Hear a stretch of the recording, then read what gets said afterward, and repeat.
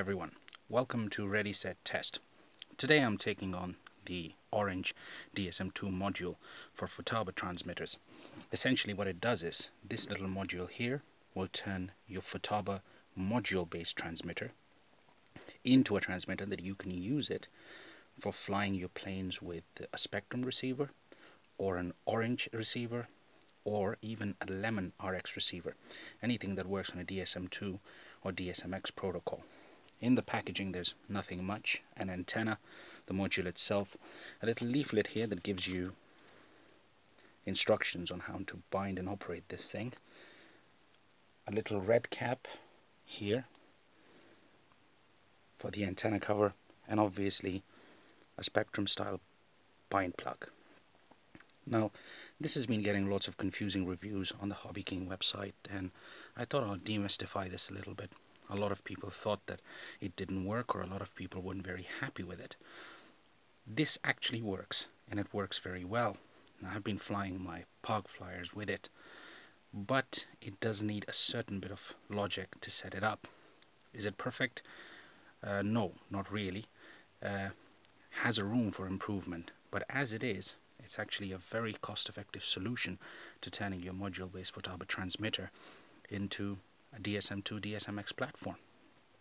And we will now go ahead and bind this to my Futaba T10CP transmitter and then we will get on and talk about the channel assignment which is something that's been confusing a lot of people.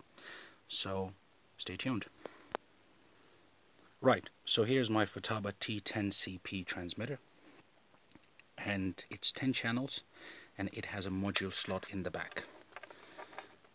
The battery pack or cover is definitely missing. We won't pay any attention to that for the time being, but here is the module slot and as you can see the pins on this one are right on top so they match this spot in here. Obviously you know how to put a module in, just insert it here until it clicks and you're good to go. First of all, you have to do a little check, find out whether the module is getting power. Easy to do. Turn on your transmitter. That faint little beep that you heard and the blue light coming on means the module is getting power. And to confirm it more, this bright green LED beep on the back, that means module is getting power. So now we are going to bind it to one of these little beauties. The orange DRX DSMX receivers, very cost effective and in my experience, very good receivers for park flyers. So stay tuned while we bind this. So to bind it to an orange receiver or an equivalent spektrum receiver or lemon receiver, you will have to do this process. Obviously I'm showing this to you on an orange RX, but it works almost the same for each and every one of them. Obviously, you take the jumper and you jump the slot where it says battery and bind.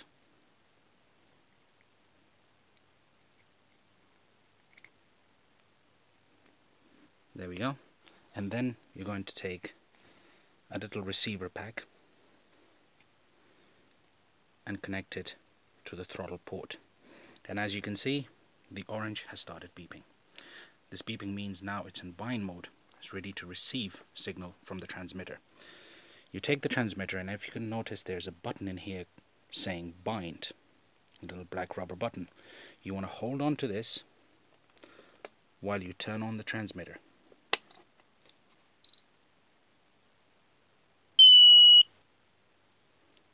Wait for the orange receiver to stop flashing and go solid light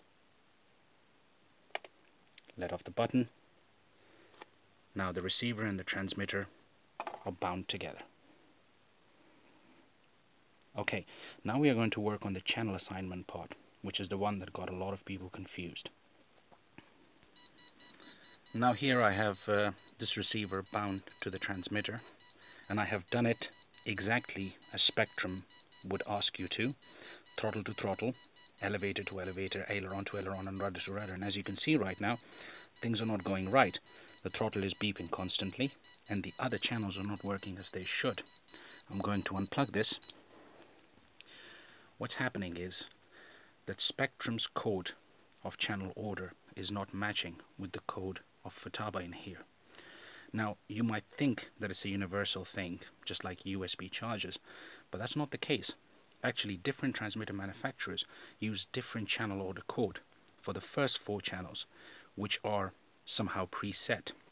Spektrum seems to go in a direction where throttle is 1, but Futaba goes into a direction where aileron is 1. Here's a little schematic of how this thing works. Take this for instance. Spektrum works on a TAER, throttle, aileron, elevator, rudder system. Futaba works on AETR, aileron, elevator, throttle, rudder. As you can see, apart from rudder matching rudder, all the other channels have a basic fundamental clash with each other. And that is what making the transmitter and both the receiver go kind of mad. Now, that's where a lot of people have also had problems. Is a very easy way to solve this problem if you're using a standalone spektrum or Orange receiver. But if you're using a spektrum bind and fly mini flyers with a built-in receiver, then you will have to do a system update on it for which I believe you have to buy an updating kit from Hobby King. But right now I'm talking about using it with absolute standalone receivers. So, keeping this schematic in mind, I'll just slide it over to the other side and let's bring our things back into the equation. Let's keep the schematic in here so that you know what is going on. Now as you can see, there is there are our plugs. So what we need to do is, in order to get the right aileron, we need to plug the Futaba aileron, because we're using Futaba, into the spektrum throttle. This is interesting in here. So I'm going to pull these and I'm going to do we're going to use this uh, black servo in here. Use this for aileron. So aileron goes into throttle. As you can see elevator goes to aileron. So elevator to aileron. Throttle goes to elevator and this is probably the most the baffling part. Your ESC will plug in to elevator in the orange or the spektrum receiver instead of plugging into throttle. Sorry if I'm having a little bit of a problem focusing.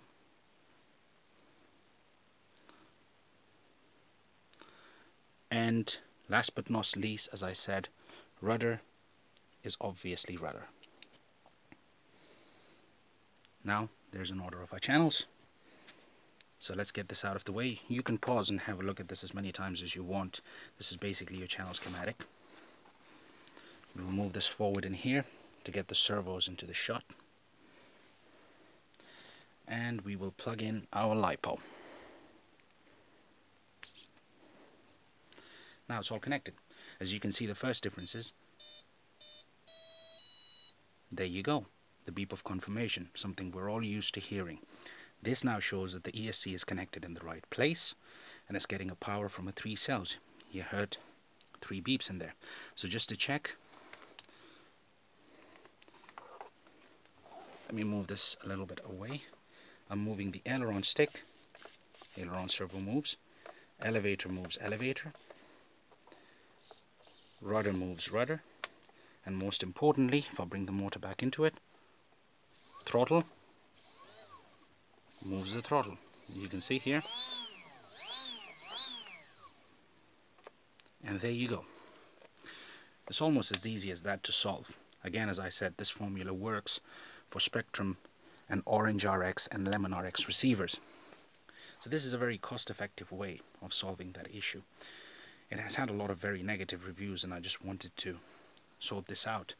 But to be very frank and as a conclusion of this video, is this unit perfect?